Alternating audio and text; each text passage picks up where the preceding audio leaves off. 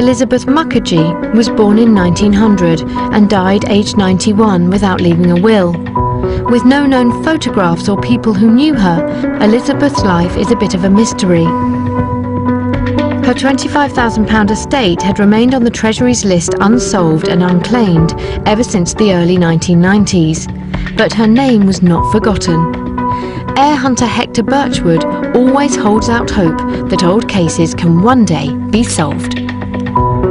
Anytime a new database comes online, anytime we buy uh, a new bit of information uh, uh, which relates to our business, then I pick up those old cases and I run them through.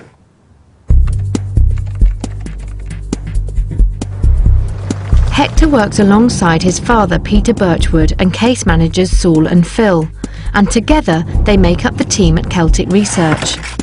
Like every other heir hunting company in the UK, they leap into action every Thursday morning when the Treasury releases new names of unclaimed estates.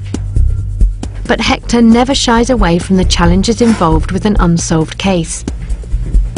This case had been picked up and dropped, I think, on a couple of different occasions. Mainly because there wasn't enough information to find heirs the first time around. But with the release of the 1901 census, Hector tried once again to find the descendants of the mysterious Elizabeth Mukerji. For an heir hunter, it's a rare occasion to work a name of Asian origin. We don't see very many Indian names uh, coming up in the unclaimed estates. We're missing the birth of her father. And as Hector continued his initial research, Elizabeth's case was getting more and more out of the ordinary. I thought initially this might lead to India, uh, and perhaps I should be looking at the uh, India records at the British Library. Hector got down to his research and discovered that Elizabeth had taken her surname from her late husband Dirijendra Mukerji, whom she married in 1938. He was born and brought up in the UK after his father came to England around the late 19th century to study law.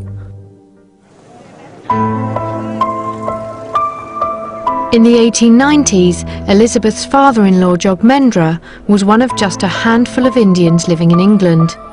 But the Mukerji name was to go down in both Indian and English history.